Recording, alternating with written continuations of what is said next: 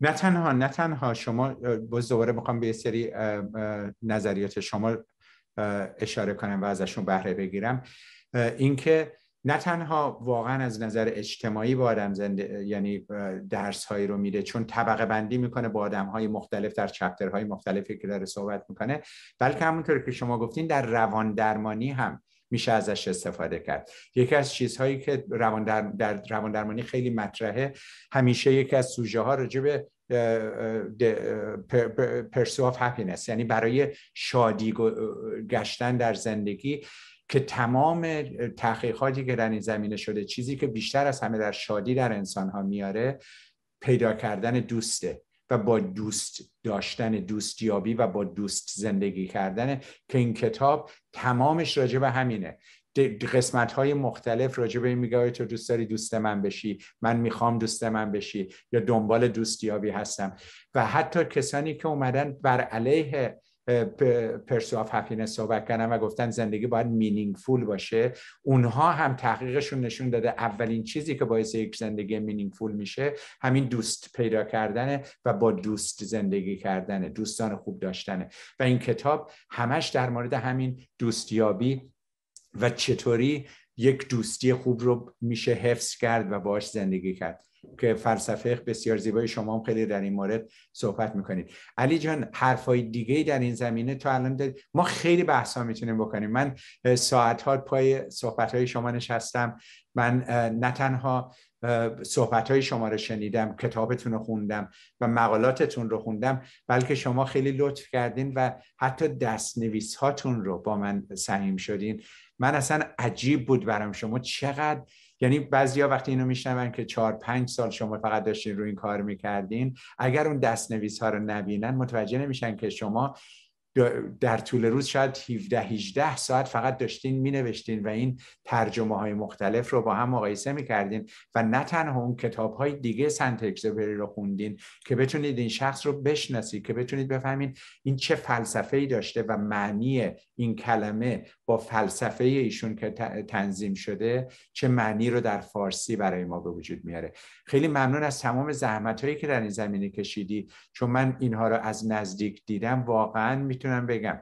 هر کسی که می‌خواد واقعا ارزش کتاب شما رو بفهمه باید یکم بیشتر وقت صرف کنه تا با شما بیشتر آشنا بشه تا دست نوشته های شما رو. و من خیلی دوست دارم که شما بتونید یه وبسایتی درست کنید یا یه تلگرامی که همون چیزهایی رو که با من سهیم شدین با مردم میهن ما بیش از هر چیز. و خیلی امیدوارم امیدوارم که شاید همین کاری که ما اینجا در پرژن ابرز داریم می‌کنیم بتونیم شخصیت های برجسته مثل شما رو به دنیا معرفی کنیم که الان در فرانسه که شما هستیم پاریس بتونن قدر شما رو بدونن در تلویزیون ها در میدیاهای مختلف بتونن همین حرفای شما رو حتی به فرانسوی ها بزن با اینکه اونا فکر می‌کنن می‌دونن که خب شخصیت بزرگ زندگیشون چیه یا کتاب بزرگی که دارن چیه ولی شما ممکنه بتونید بیشتر کار کنید. اگه حرفای دیگه هم دارید بزنید که من آخر برنامه می‌خوام مثل طبق معمول چند تا سوال بی ربط از شما بکنم. بله یه یه, یه نکته که راجع من یه کتاباش که خوندم و خیلی تاثیر می‌ذاره توی ترجمه اون کتاب و می‌تونه آدم داستان شازده کوچولو وقتی می‌خونه مفاهیم رو بهتر بگیره کتابش هست اسمش تق دزوم یا حالا سرزمین انسان ها سرزمین آدمیان. البته زمین انسان ها هم ترجمه کردن. حالا همین کتاب رو به انگلیسی ترجمه شده وینز سانز اند ستار خب اینو وقتی اگر یه کسی ترجمه کنه بادشن و ستارگان از انگلیسی ترجمه کرده. و این خیلی غلط داره ترجمه از انگلیسی ترجمه شده. من پیشنهاد می‌کنم که کتاب ترجمه آقای پرویز شهدی است زمین انسان ها رو بخونن. البته تیتر کتاب بیشتر به نظر میاد باید می بود سیاره انسان. و یه نکته دیگه هم راجع به این کتاب باز اشاره کنم که خودتونم بیشتر یادتون هست. نکته اینه که در رو که اشاره کردین چیه؟ ببینید مثلا توی اونجایی که این فصل دوازدهم رفته با یه دونه خودپسند ملاقات کرده که میگه دستهایت را یکی و از دیگری به روی هم بزن. چپ و راست دستهایت را بر هم بکوب. خب این بچه پاک اصلا این چاپلوسی بلد نیست که بهش یاد داره میده چاپلوسی رو. خب؟ و بعد اونجا آخر جملهش خیلی قشنگه میگه خودپسندان سوای حساب ستایشگری چیز دیگری رو نمیشنوند خب این نشون میده که تو جامعه ما چی داره میگذره. این جامعه ماست. فقط دوستان ازشون تعریف بکنی حاضر نیستن انتقاد رو بپذیرن. انتقاد پذیری جایی نداره. این در این مورد که می‌خواستم باز اشاره کرده باشم بهش. و بعدم فایل چیدم که میگید بله من اینجا یه یه فایل یک متری دارم تمام چقدر الان هفت سال شد دارم روی این کتاب کار می‌کنم. هفت سال. علی جان شما ورکشاپی که داشتین برای ما تقریبا فکر کنم هشت جلسه یا نه جلسه طول کشید که ما چپتر با چپتر اینها رو میخوندیم و شما نه تنها در قسمت ترجمه ها کمک می‌کردین که ما اینها رو یاد بگیریم بلکه راجب فلسفه کتاب صحبت می‌کردین. بسیار بسیار عمیق و من خودم که خیلی یاد گرفتم و تمام کسانی که در اون جلسات شرکت می‌کردن یاد گرفته بودن.